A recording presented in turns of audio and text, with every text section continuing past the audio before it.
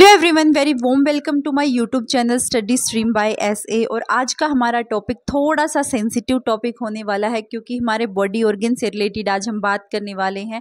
एक ऐसा डिज़ीज़ है जो हमारी किडनी को फेल कर देता है। किडनी की जो फंक्शनिंग होती है उसको स्लो कर देता है। तो ये एक टाइप का क्रोनिक डिसीज होती है जिसमें हमारी किडनी पे असर आता है। तो फ्रेंड्स किडनी तो मेन बॉडी ऑर्गन है। फिल्ट्रेशन का अगर किडनी पे ही आ, किसी चीज़ का प्रेशर आता है कोई डिज़ीज़ हो जाती है तो बॉडी का फिल्ट्रेशन कौन करेगा? अगर बॉडी का फिल्ट्रेशन नहीं होगा तो उस केस में हमें बहुत सारी बीमारियाँ आ जाएँगी। और किडनी का किस तरीके से फिल्ट्रेशन तो किडनी हमारी बॉडी की फिल्ट्रेशन का काम करती है। किडनी का फ़ंक्शन होता है कि ब्लड को कलेक्ट करके उसमें से कुछ इम्प्योरिटीज़ कुछ मेटाबॉलिक वेस्ट होता है, जिसको आउट ऑफ़ बॉडी करना पड़ता है। किस तरीके का मेटाबॉलिक वेस्ट हो सकता है? न्यूट्रिश कुछ सॉल्ट्स हो सकते हैं कुछ और दूसरा टाइप का जो हमारे कुछ यूरिन हो सकता है, ठीक है, जिसको हमारी बॉडी एब्जॉर्ब नहीं करती है, जो वेस्ट जिसको निकाल देती है।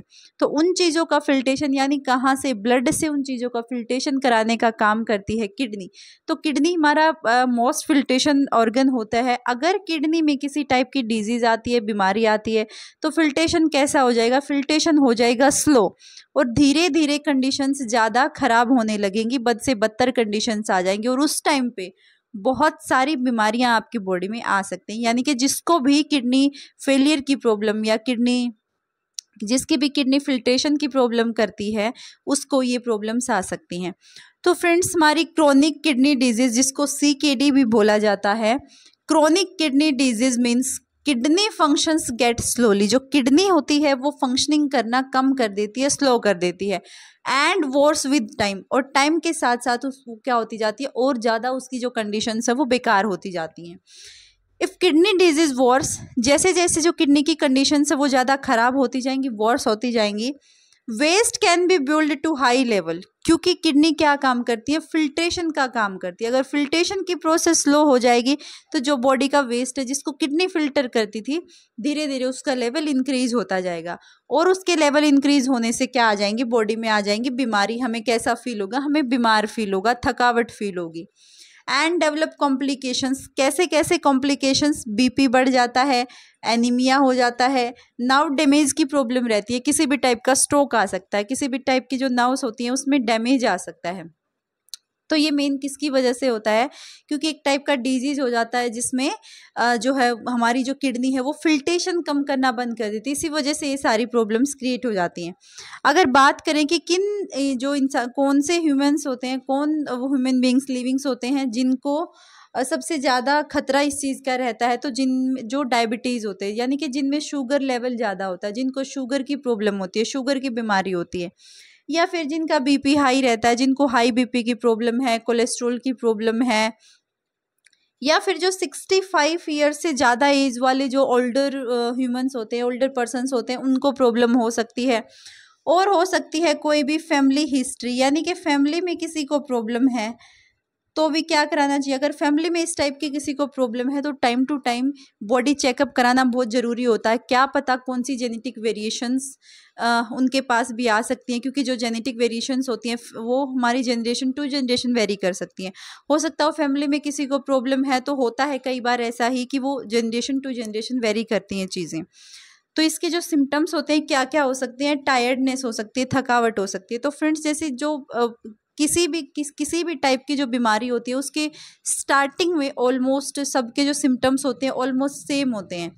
धीरे धीरे जैसे जैसे बीमारी बढ़ती जाती है सिम्टम सेपरेट होना स्टार्ट हो जाते हैं। तो जो इसका एक सिम्टम्स है टायर्डनेस की थका थका सा महसूस होता है क्योंकि आजकल तो नॉर्मल भी सबको ऐसा ही टायर्डनेस होती रहती है हर टाइम क्योंकि ज़्यादा काम भी नहीं है।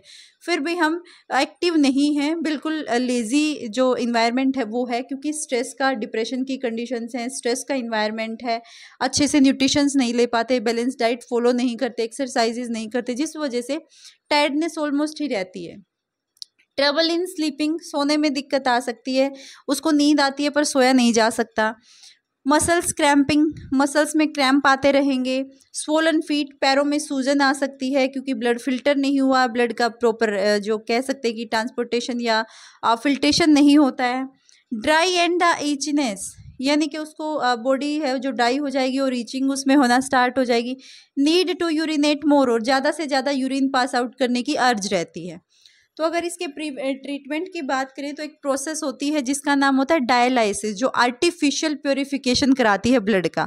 जब किसी भी इंसान की किडनी फेल हो जाती है वो फिल्टेशन करना बंद कर देती है तो उसको एक ट्रीटमेंट दिया जाता है डायलाइसिस ट्रीटमेंट उस डायलाइसिस ट्रीटमेंट में आर्टिफिशियल तरीके से मशीन्स का यूज़ करके ब्लड को फ़िल्टर कराया जाता है ताकि पेशेंट को, को कुछ टाइम के लिए उसको ऐसी फिल्टेशन वाली प्रोसेस मिल सके।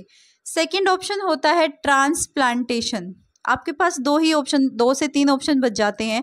अगर फ़र्स्ट और सेकंड स्टेज में उस चीज़ का पता नहीं लगता, क्योंकि बहुत सारे ऐसे होते हैं जो रेगुलर बॉडी चेकअप नहीं कराते तो उनको पता नहीं लगता। डायरेक्ट उनको थर्ड फोर्थ जो भी लास्ट स्टेज होती है, उसमें जाके पता लगता है। और तब जाने के बाद सिर्फ़ दो ही हमारे पास प्रोसेस रह जाती हैं डायलाइसिस की या तो फिर ट्रांसप्लांटेशन की प्रोसेस रह जाती है। तो इसके जो प्रिवेंशन है, उसके लिए हम क्या क्या कर सकते हैं? सबसे पहले तो जो हमारी डाइट होती है, उसको न्यूट्रिटिव डाइट होनी चाहिए। बिल्कुल एकदम हेल्दी खाना होना चाहिए उसके लिए। डेली एक्सरसाइजेज होनी चाहिए। सबसे पहले लाइफस्टाइल को इम्प्रूव करो। लाइफस्टाइल जैसे इम्प्रूव होता है तो हेल्दी लाइफ आती है।